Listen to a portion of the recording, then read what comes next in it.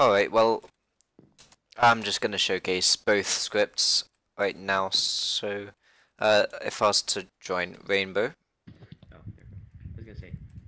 uh, so I bind I binded them to like Egg Wars Auto Vote, Sky Wars Auto Vote. So if I was Sky Wars Auto Vote, normal chests, soft blocks, and sunset, I'm not doing anything. And uh, if I was to head over to Egg Wars, Egg Wars, there we go. I could fly a little faster. Um, I don't know why I'm choosing games. I'm this. I'm just showcasing. Um, if I was to Egg Wars Auto Vote, there we go.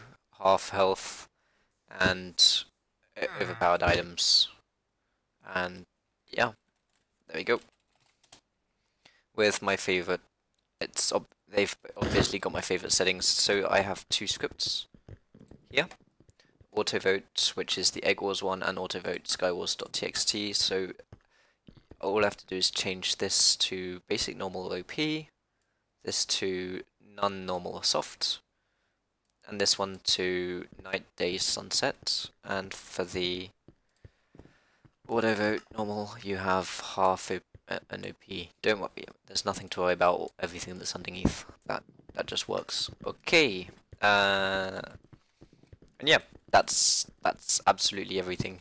And I think I'm done with those two scripts. And I'm just gonna put this as part two of the other scripts, you know, because I did Skywars, I did Egg Wars.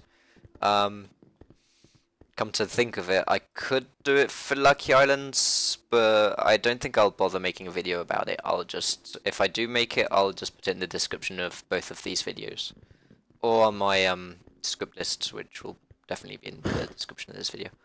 Alright, that's all.